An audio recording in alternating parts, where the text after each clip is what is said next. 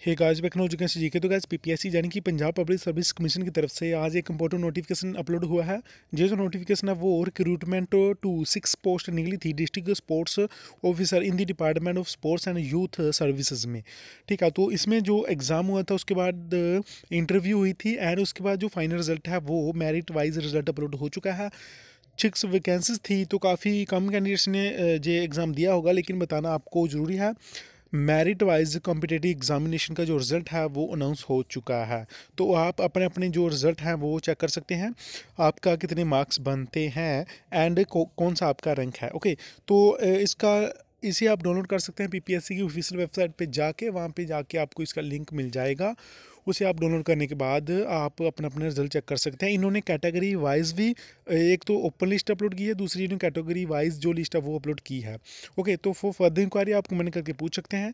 आपको यही बताना था। ओके गाइज़ आपने मुझे समय दिया, उसके लिए बहुत बहुत धन्यवाद। Thank you so much